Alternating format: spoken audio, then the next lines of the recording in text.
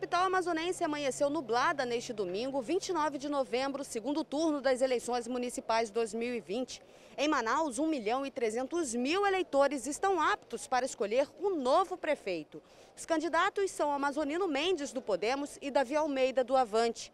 Nessas primeiras horas da manhã, foi tudo tranquilo todos os protocolos de segurança em saúde por conta da Covid-19 estão sendo cumpridos. A orientação do TSE é levar a própria caneta e o uso da máscara é obrigatório. A Prefeitura garantiu a gratuidade do transporte público para todos os eleitores até às 5 da tarde. E quem não votou no primeiro turno pode e deve votar no segundo turno.